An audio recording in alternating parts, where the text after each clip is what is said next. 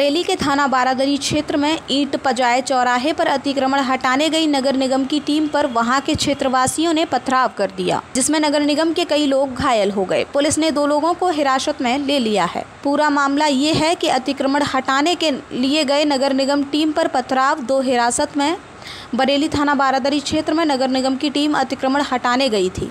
अतिक्रमण शाहदाना चौराहे से डेलापीर तक हटना था। दोपहर जब नगर निगम ईंट पजाए चौराहे पर पहुँची अतिक्रमण हटाना शुरू किया चबूतरा तोड़ना शुरू किया तभी राजू कबाब वाली गली के पास नगर निगम की टीम पर पथराव कर दिया।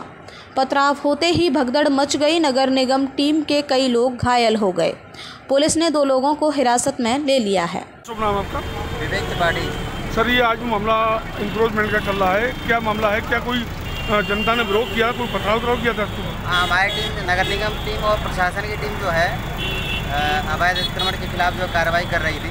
पहले भी इनको चेतावनी दी गई थी अनाउंसमेंट किया गया था कि अवैध अतिक्रमण हटा ले अपने स्तर से इनके द्वारा हटाया नहीं गया था तो आज अवैध अतिक्रमण की कार्रवाई हटाने की चल रही थी।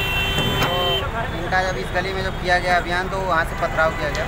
कई कर्मचारियों को चोटें भी आई हैं और पर्याप्त संख्या में इसके बाद पुलिस फोर्स बुला लिया गया कार्रवाई कर दी गई।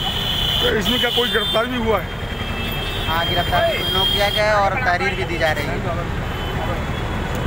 आज का अभियान आपका कहाँ से शुरू है कहाँ तक है? आज का अभियान हमारा श्यामतगंज फ्लाईओवर से शुरू हुआ है और ये पयाए चौराहा होते हुए डेरा तक जाएगा